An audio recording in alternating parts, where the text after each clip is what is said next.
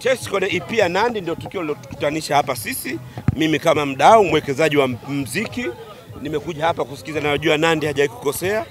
Tuje tusikilize ujio wake, ujio wake kwa namna moja au nyingine, tunajua tunaenda kupata ladha katika masikio yetu. Na tukizungumza wasanii wa kike, Nandi ni miongoni mwa wasanii wa kike wachache wanalowakilisha hili nchi. Kama mnavyojua, Dodoma, Mheshimiwa Rais mama yetu makamu rais eh, rais kabisa wa nchi mama alimpigia simu Nandi na kumpongeza kwa kazi anayoifanya. Mimi ni nani nisimpongeze Nandi kama mama namba moja, rais wa nchi hii, rais wa kwanza anayoandika historia katika taifa hili amemsifu Nandi. Mimi ni nani nisimsifu Nandi? Okay, okay. Mimi ni kijana mdogo, ndio maana niko hapa na mimi kuhakikisha kuwa Nandi anatimiza ndoto yake. Watu wazito kama sisi tunapokuwepo hapa ndio tunatengeneza mipango na uwekezaji zaidi. Mnajua Nandi tena yuko single, kwa hiyo ndio tunaenda kutengeneza mipango ya uwekezaji kwa Nandi. Okay, nimeona baadhi ya watu wakijaribu kumkompea Nandi na Zuchu. Kwako hiyo unaionaje? Acheni kufananisha uchafu na Nandi. Nandi ni, ni brandi kubwa, ametengeneza muda mwingi, msanii mkubwa. Na nyinyi waandishi, muda mwingine mnafananisha takataka na vitu vya halali. Tuwe na heshima, tumheshimu Nandi. Ametengeneza brandi yake kwa muda mrefu, ametengeneza mziki kwa kutumia akili, ametengeneza mziki kupitia mikono ya watu salama sahihi, na ndio maana yuko pale, hatui. Kila anachokitoa ni kina, kina, kina tija kwa jamii. Acheni kufananisha watoto. Anaweza kawa anajua, lakini sio kumfananisha na Nandi. Inawezekana anajua, lakini sio kumfananisha na Nandi.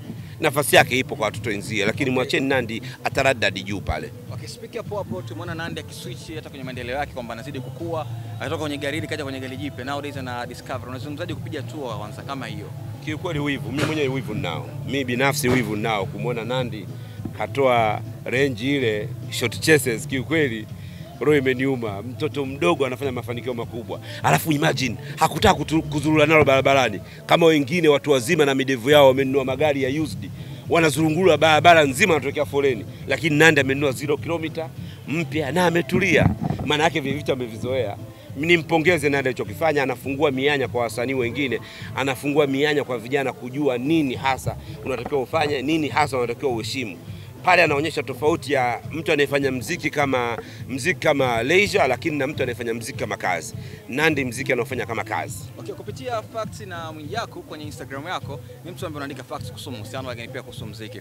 Kuna, kuna, kuna video moja mnaweza kushare kuhusu Kajala kuhusu ngoma ya Sadaka Lawe. Alikuwa ni mtu wa kwanza kusikiliza kutoka producer na yeye. Ile moja kama ilikugusa hivi. Kuna nini kati ya watu? Mimi nilikuwepo Dodoma, nilikuwa na Kajala e, na tumezungumza mambo mengi sana na Kajala, na niwaambie tu Kajala, kama hujampa muda wa kumsikiliza, huenda usimdhanie ndio huyo. Mimi niongea na Kajala sana. Kajala ni mtu ambaye ana focus, lakini ameniambia ukweli wa moyo wake. Kajala aliniambia kabisa, huu wimbo Mwijaku mimi ndo wa kwanza kusikiliza. Hakuna mtu aliyopata nafasi ya kusikiliza wimbo kama mimi.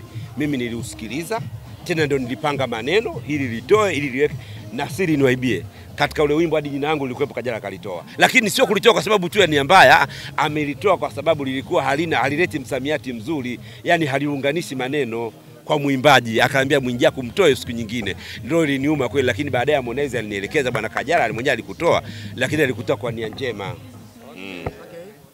kitu ambacho hakikutegemewa ni ile interview ambayo alifanya na Wasafi, kitu ambacho watu walizua maswali mengi sana, kwa sababu umekuwa ukiwaongelea negative upande ule. Ile ilikuwaje? Ulilipo ni vipi?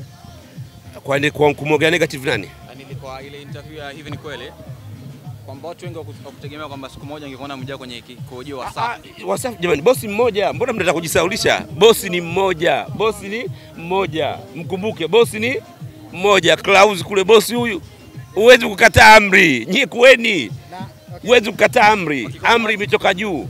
Na, na ulipokeaje uh, Diamond alipopost kwenye Instagram account yake? Of course amehitaji nimpeleke mjini. Na alipigwa simu na aliniomba. Kwa sababu naona nyumba yake uh, pitia kwenye ukurasa wake. Toka amenipost mimi, akaunti zake zilikuwa. Viewership ya kwangu ndio kubwa, na aliniomba, naomba unipeleke mjini ndugu yangu, mimi ni mtu wa msanii wa watu wote. Ameniomba, kwa nini nisim, nisim, nisim, tena homeboy, nikamsaidia na ni kweli nyimbo ikakaa namba moja na muda gani? Ni kwa sababu ya kwangu mimi, na ningeacha mimi isingokaa namba moja, lakini kwa heshima yangu mimi imekaa namba moja. Kwa hiyo nimemsaidia kama kijana, ameniomba kwa sababu mimi ni DC wa Instagram wa watu wote, sibagui upande, na Mungu amenipa kipawa cha kuhakikisha naweza kutendisha nyimbo, kuifanya ipate viewership. Kwa nini nisimpe nafasi hiyo? Nimemsaidia. Kumalizia papo, kama singekuomba na maana ungemshtaki. Ninge, ah, ninge, ningemshtaki. Nimemsaidia kijana ule